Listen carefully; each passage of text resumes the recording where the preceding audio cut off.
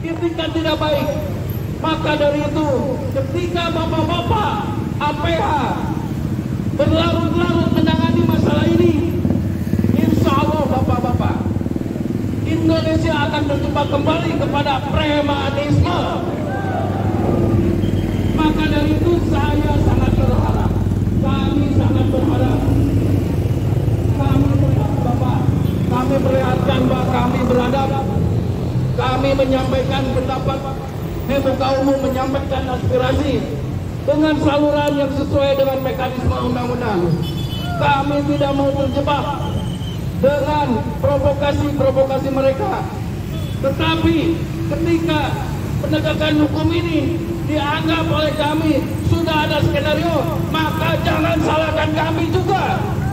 Yang akhirnya kami bisa berbuat lebih dari itu. Jadi mohon bahwa penegakan hukum terkait dengan kasus Karawang akan menjadi tolak ukur, akan menjadi peredam. Karena kami akhirnya bisa mempercayakan kepada bapak-bapak semua. Tetapi sekali lagi, ketika bapak-bapak aparat penegak hukum tidak melakukan fungsinya, tidak melakukan tugasnya sesuai dengan mekanisme yang ada, jangan salahkan kami. Apabila kami Nah, itulah aksi ya dari LSM GMBI di depan Mapolda. Nah, saya bacakan dulu tekstualnya kawan ya. Saya ambil dari media onlinenya 86news.co bahwa GMBI gelar aksi unjuk rasa untuk perjelas kasus Karawang ya kasus Karawang nih jadi Senin 3 Januari 2022 LSM GMBI atau Gerakan Masyarakat Bawah Indonesia yang melaksanakan aksi gerakan moral ke Polda Jawa Barat karena lambatnya penanganan kasus Karawang yang mengakibatkan atau menimbulkan hilangnya nyawa seseorang. Nah, guna menjaga situasi Kamtipnas, Polda Jawa Barat sudah berupaya melakukan koordinasi akan tetapi pihak Korlap GMB mengatakan aksi unjuk rasa harus tetap dilaksanakan. Tidak bisa ditunda karena sudah diagendakan cukup lama. Jadi GMB menyatakan bahwa pihaknya sudah melayangkan surat izin kepada Polda Jawa Barat perihal pemberitahuan aksi gerakan moral mengenai penanganan kasus Karawan tertanggal 30 September 2021 GMBI menekankan bahwa agenda tersebut bukan untuk menekan Polda Jawa Barat agar menahan RS dan tidak ada kaitannya dengan kasus RS. Ya kan? Ah. Ya. Kabit Humas Polda Jawa Barat Kombel uh, Kabit Ya, Kabit Humas Polda Jawa Barat Kombes Polisi Ibrahim Tompo menegaskan bahwa agenda GMB tidak berkait dengan BS.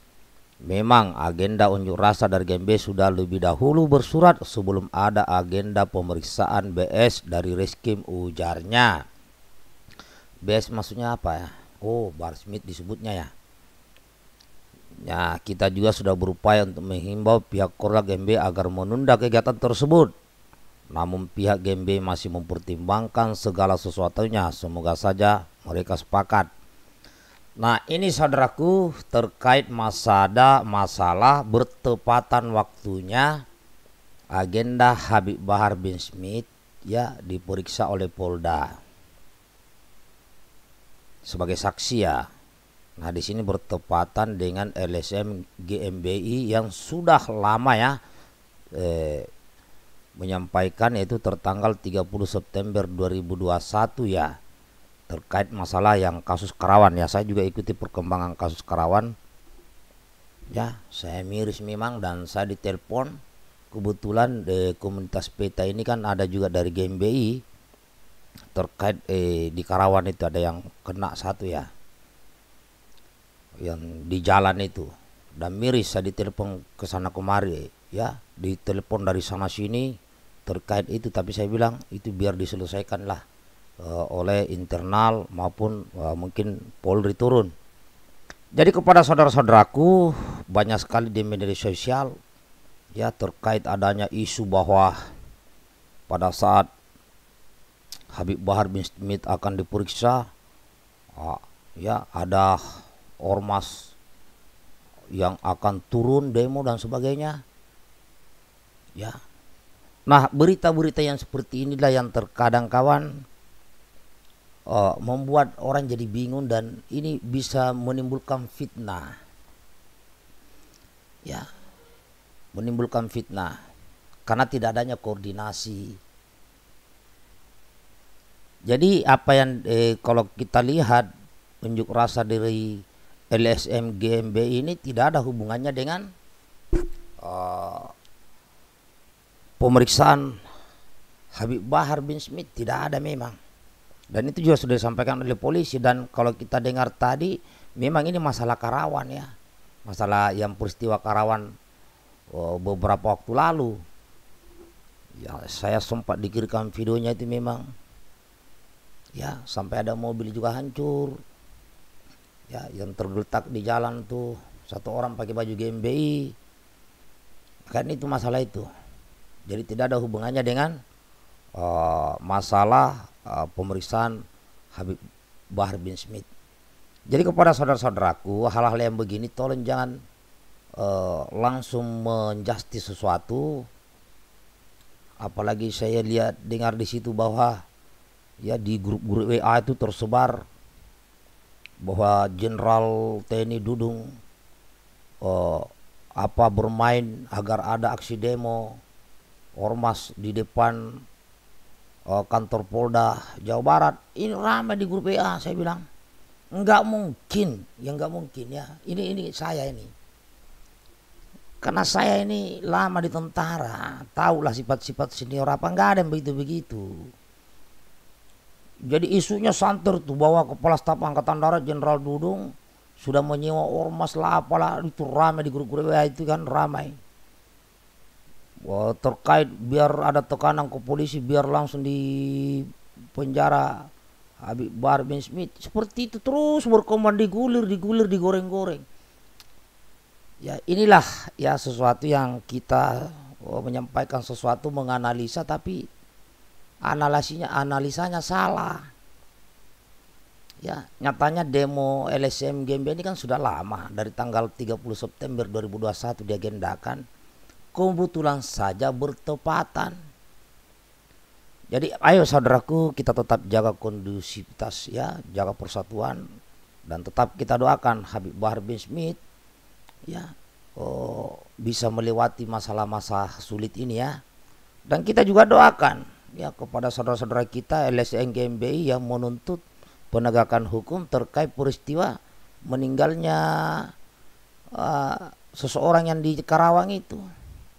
Ya yang tawuran itu.